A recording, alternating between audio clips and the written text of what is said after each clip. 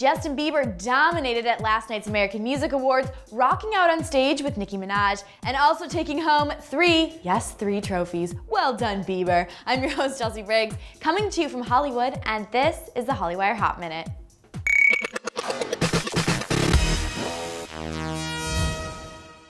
As one of the most anticipated performances of the night, J. Beeb started out with an absolutely amazing acoustic version of As Long As You Love Me, followed with a high energy Beauty and a Beat collab with Ms. Nicki Minaj. Now, she showed up on stage, and you better believe the two, they did some serious grinding. And Beliebers' voices were absolutely heard, no surprise about that, as Justin took home three awards, one being the biggest honor of the AMA's Artist of the Year. Now, in probably one of the most touching moments of the night, Justin dragged his mom on stage to thank her for always believing in him. How cute. Justin also tweeted his thanks to his fans, saying, Lost for words tonight. Like I said, as long as you believe in me, I will always try to make you proud. Thank you. Tonight I will never forget.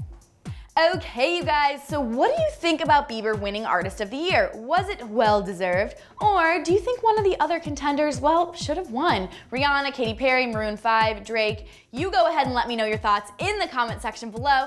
And of course, hit that subscribe button. Do it, please, right now. And of course, like and favorite this video as well. For Hollywire.com, I'm Chelsea Briggs, and I'll catch you on the flip side. Yeah to at ERM Niall. You asked, Chelsea, are you upset 1D didn't win at the AMAs? Yes, absolutely I am. My jaw dropped, I was upset, but I feel like next year it just means they're gonna clean up shop. To at Lexis, L-E-X-I-S, S-I-A-N. You said, at Chelsea Briggs, I sat at home watching Hollywire for two hours straight. Hashtag hungry. Hashtag best tweet ever. To at Artina underscore love underscore 1D. Girlfriend, hey, I want to wish you a very special week, and I hope you have the raddest day ever. Guess what? We reached 50,000 subscribers.